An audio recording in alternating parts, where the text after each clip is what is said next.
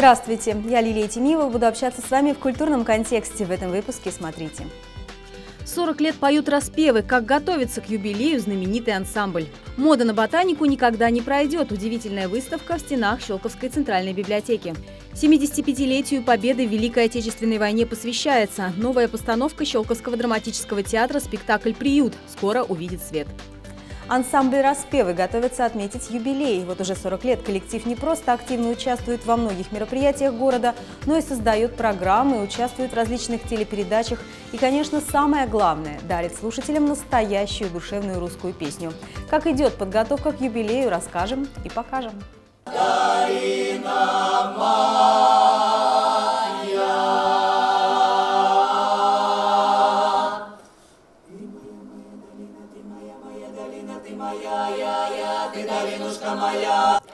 От распевок к распевам, от небольшого ансамбля до профессионального народного коллектива. Ансамбль русской песни «Распевы» готовится к юбилею. Дата серьезная – 40 лет. А как еще отметить такое событие, если небольшим и ярким концертом? Ну, это серьезная история, которая началась еще в 80-е годы и продолжается до сегодняшнего дня.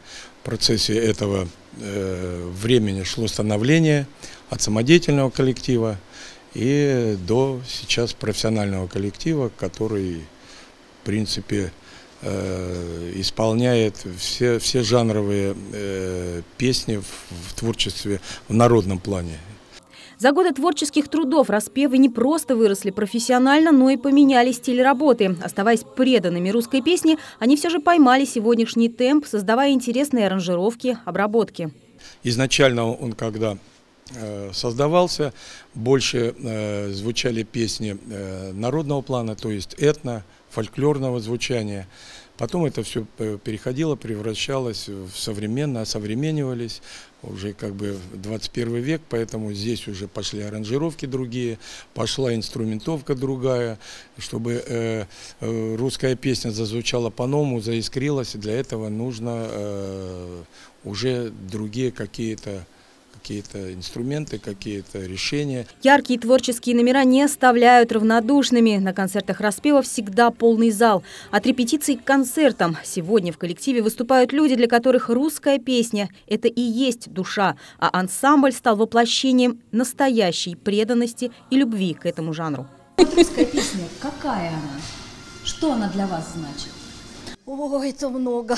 Вся жизнь? Много, это Вся много. Жизнь, вот Леночка. мы живем, да, вот мы несем вот в массу, как бы, Да. да, поем наши песни. Мы так рады, что нас слушают, нашу народную русскую песню. Мы так счастливы вот этим.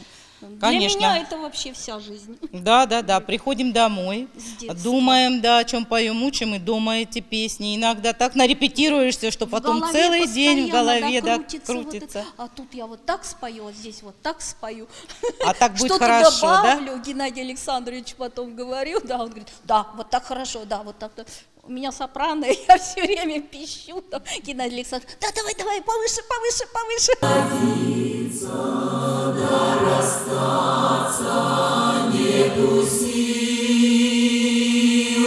Сегодня коллектив востребован как никогда. Распевы стали завсегдатаем программы «Поле чудес». Коллектив приглашают выступать в разные города Московской области на различные мероприятия. Они регулярно становятся участниками конкурсов и фестивалей. Но это не главное для артистов ансамбля «Распевы». Главное то, что их любовь и стройное исполнение народной русской песни всегда затрагивает самые глубинные эмоции, обращаясь к истокам культуры и бескрайней природе таинственной русской души.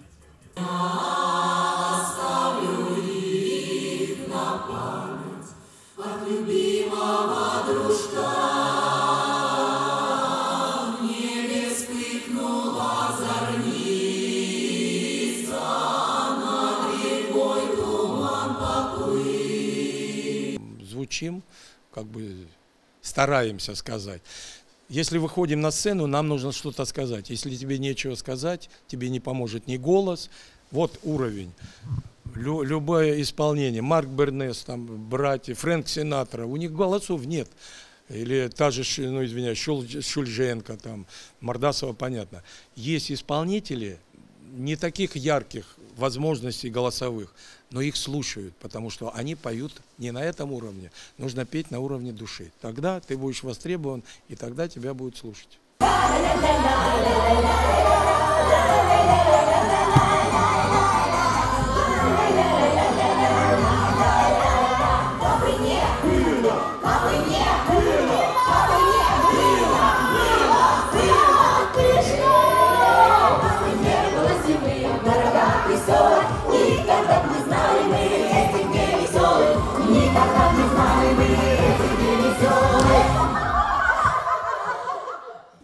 Алиса в стране чудес. Мюзикл по этой сказке показали в Центральном дворце культуры. В зале как взрослые, так и дети погрузились в атмосферу волшебства, а помогли им в этом не только персонажи, но и спецэффекты.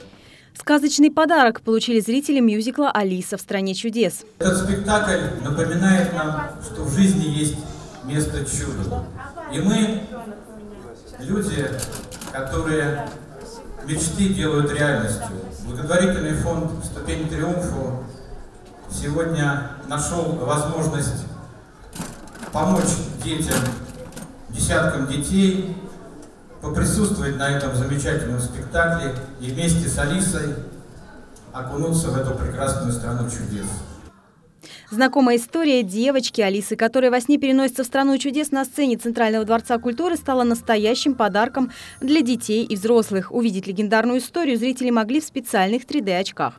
Все начиналось, собственно, как в книге Льюиса Кэрролла. Алиса, скучающая на берегу реки с своей сестрой, видит спешащего белого кролика, держащего в лапке карманные часы, она следует за ним в кроличью нору, попадает в нее и оказывается в зале со множеством запертых дверей. Там она находит ключ от маленькой 15-дюймовой двери, за которой виден сад, в который девочка хочет попасть. Однако дверь для нее слишком мала. А дальше начинаются настоящие порой весьма странные приключения. Алиса то растет, то уменьшается. На ее пути встречаются различные необычные необычные персонажи.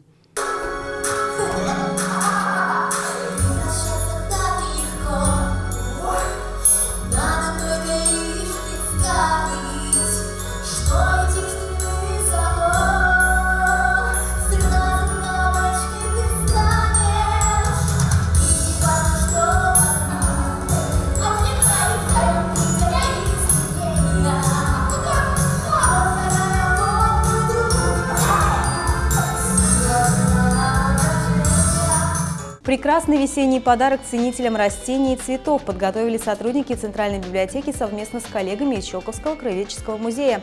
В небольшом пространстве читального зала разместились уникальные экспонаты из фондов музея. Выставка «Мода на ботанику» привлекла и наше внимание. Яркая весенняя и весьма символичная выставка «Мода на ботанику» ждет гостей в Центральной библиотеке. Ботанический рисунок – редкий вид искусства, который заключается в детальном, четком изображении растений. Сама история ботанической иллюстрации берет начало от античных времен и продолжается уже в наши дни. На выставке представлено 39 экспонатов, включая фрагменты сервизов, чайных, кофейных, вазы, также вышивка на скатерти, наволочках гладью – и стенды, которые представляют ботанический рисунок. Профессия ботанического иллюстратора стала весьма популярной и престижной в XVIII веке. На стыке XVIII и XIX веков ботаническая иллюстрация проникает со страниц научных книг в массовую литературу. Сегодня ботанический рисунок – это элитарное, можно сказать, искусство, которое, с одной стороны, это воплощение таланта художника, живописное воплощение, а с другой стороны это детальное, точное изображение ботанического рисунка. Постепенно растительный орнамент становится украшением одежды и фарфора, поэтических сборников и открыток. Он начинает использоваться в декоративно-прикладном творчестве повсеместно. Еще э, в VI веке отец ботаники Диаскорид рисовал лекарственные растения с точностью, э, детально изображал с точностью от корешка до вершка. Это нужно было, поскольку не было систематики и точного описания растений. Э, затем продолжили эту традицию уже художники эпохи Возрождения, такие как Леонардо да Винчи, Альберт Дюрер. Язык цветов, флореография, символика, значение, передаваемое различным цветам для выражения тех или иных настроений, чувств и идей. Символическое значение цветов и растений широко использовалось при составлении букетов, когда каждому из элементов композиции придавался дополнительный эмоциональный смысл. Очарование живых растений, увы, мимолетно, а так хочется сохранить их точный образ. Именно поэтому мода на ботанику никогда не пройдет.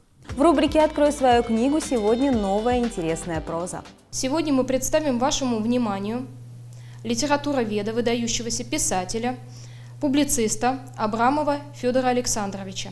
Родился он 29 февраля 1920 года в селе Веркало Пенежского района Архангельской области в бедной крестьянской семье.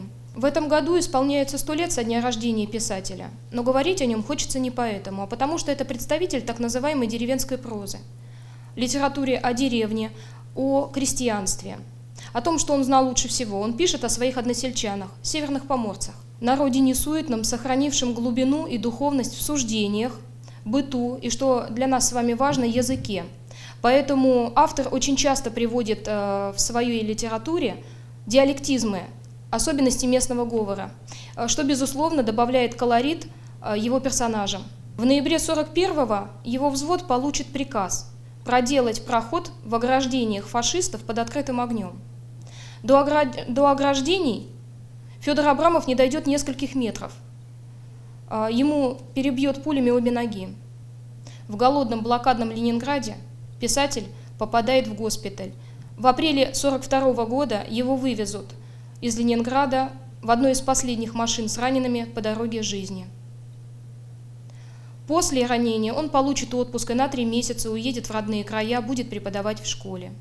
То, что он там у себя в деревне увидит, на всю жизнь отпечатается в его памяти и отразится в его книгах.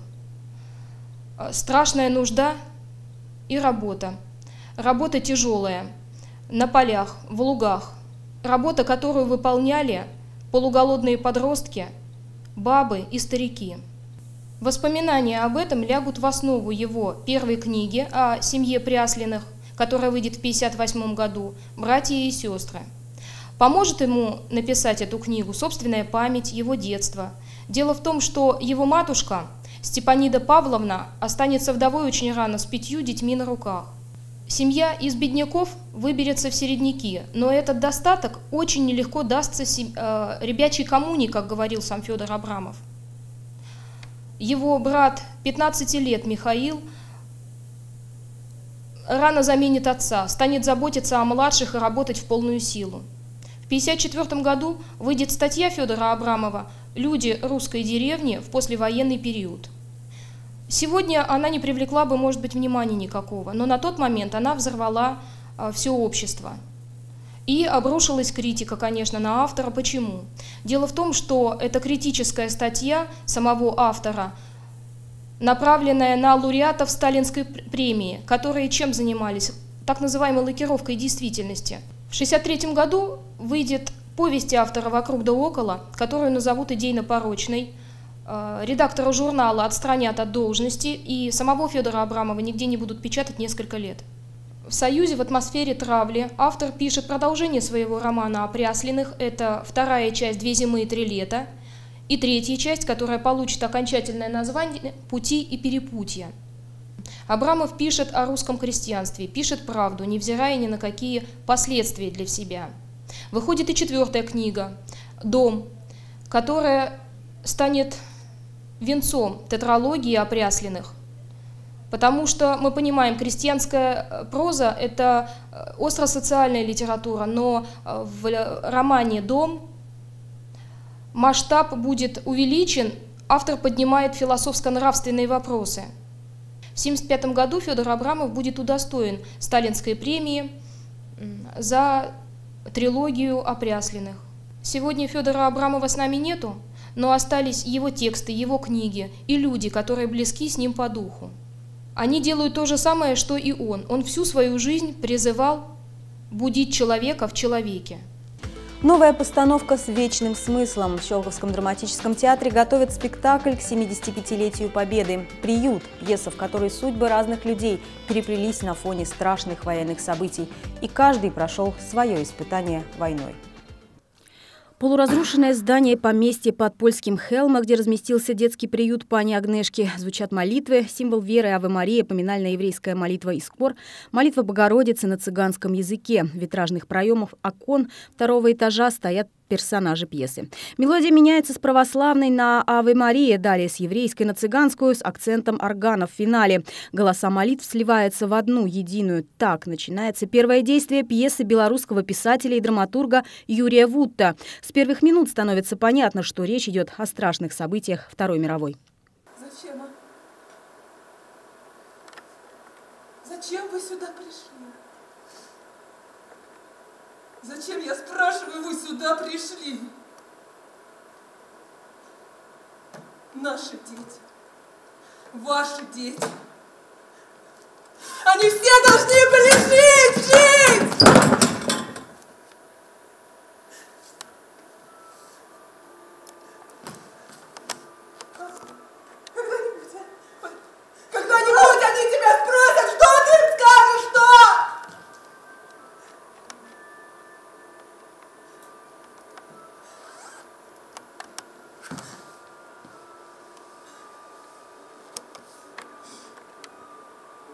молчите?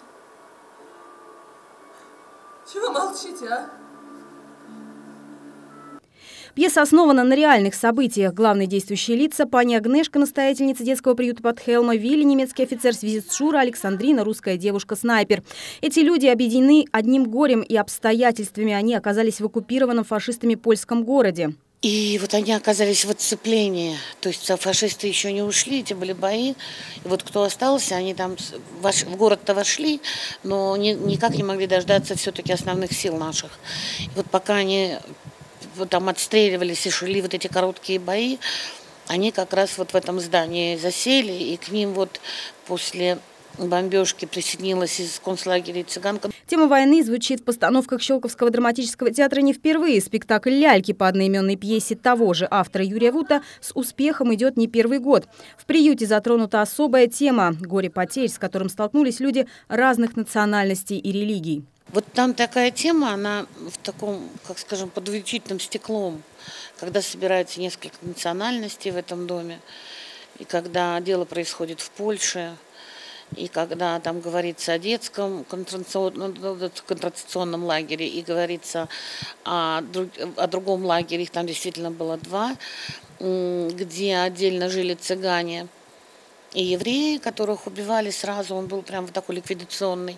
А в других бараках вторая территория этого же лагеря, он был засекречен, там жили пленные красноармейцы. Сама режиссер-постановщик Светлана Погодина отметила, что в ходе прочтения сценарий спектакля был немного изменен. Я честно говорю, я дописала немножко финал и очень много исправила там. Потому что мне кажется, это важнее говорить о конкретных людях, о конкретном подвиге, кто этот подвиг совершил, и что наши солдаты освобождали концлагеря и спасали детей. И тогда эта история получилась именно об этом – Другое дело, что там есть, конечно, и другие народы и так далее. И есть даже немец, правда, у автора он вдруг все осознает и становится хорошим. Я, вот я лично, это мой, мой спектакль, мое мнение, я с этим не согласна.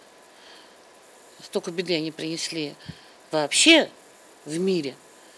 Поэтому он, я вот этот текст дописала, что я солдат – и тогда этот, он не беглый парень этот, который служил в особых войс, ну, в войсках. Я просто поменяла им линию поведения а. и изменила текст. Потому что вот один из, вот он штрафбатник, его просто оставили на поле, думали, что он убит. Угу. А его присыпало. И он, оказывается, тоже здесь. Вот он умирает за детей, угу. которые, э, которых надо спасать, которые в подвале. Угу. И когда у автора вот этот фашист якобы тоже умирает за детей и говорит о своем ребенке, а вот тут я не согласна. Он пришел к нам. Он пришел в Европу, он пришел в Польшу, в город Хелма для того, чтобы убивать. И поэтому я придумала этот текст, что я солдат, я выполнял свое предназначение. На что ему этот штрафбатник говорит? Значит, я не зря тебя продрявил. Видишь, я дала ему согласиться. Не зря. Я никогда не хотел своим детдомовский, потому что не хотел, не хотел, чтобы так же мучились. Мы очень хотели девочку. Когда она улыбалась, ангелы радовались. Вместе с, на, с, с нами. Рад, радости не было в жизни. А вот грехов полно в натуре.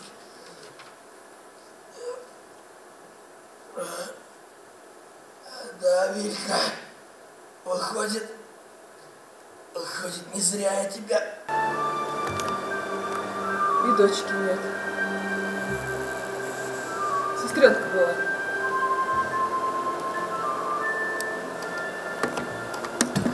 Ваши фашисты поганые. Напивались в усмерть. А кто еще держался, садились на мотоцикл. Гонялись за детками по полю синего Василькова. А когда догоняли, нет. Не убивали. Проезжали мимо. И как бы выбывали из игры. Проводили новых детей.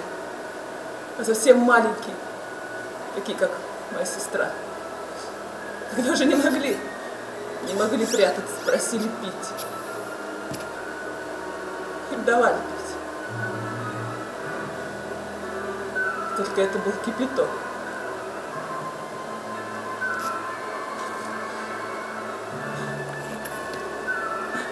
Теперь смешно? Нет! Участие в спектакле для актеров театра, несомненно, важно, ведь тема для проработки достаточно глубока.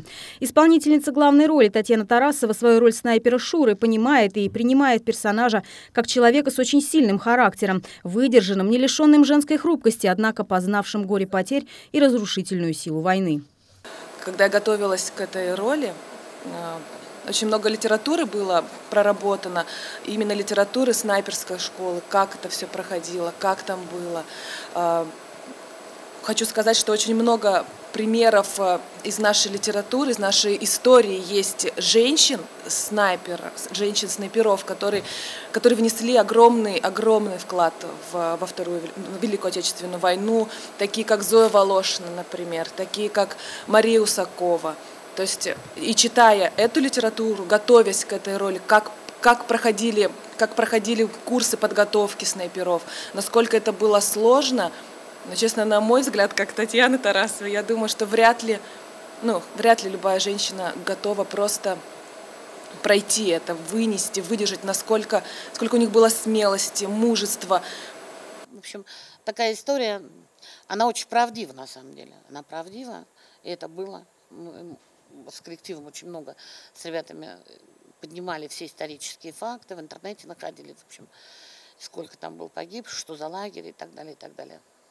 Спектакль «Приют» труппа Щелковского театра готовит к 75-летию Победы в Великой Отечественной войне. Премьера предварительно запланирована на 2 мая. На этом все. И, как всегда, я желаю вам культурных выходных и будней.